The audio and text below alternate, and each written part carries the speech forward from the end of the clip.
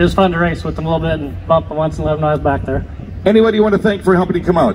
I got to thank the whole gang at Butler Wire and uh, Ryan Farrell came over today and tuned this thing up. We were in trouble until he helped. Braden Berge, young man getting it down up there. Took a little bit to do it, but uh, what were you thinking, man? I just want this race to get over with. You know, I always love racing, uh, especially with good people like Mike. You know, got to be a little bit there, but I would have done the same thing. So I'm just happy it ended how it did, and uh, no hard feelings. It's awesome.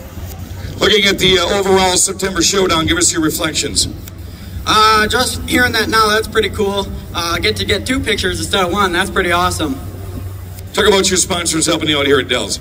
I'd just like to thank uh, Dempsey Builders, Seamers, Cruise In, Berge Plumbing Plus, JK Tools, and uh, I'd also like to thank my dad and Ryan Farrell and all the crew that helps. And uh, I love you, Mom. Oh, look at that. How about that? It's your winner, Braden Berge.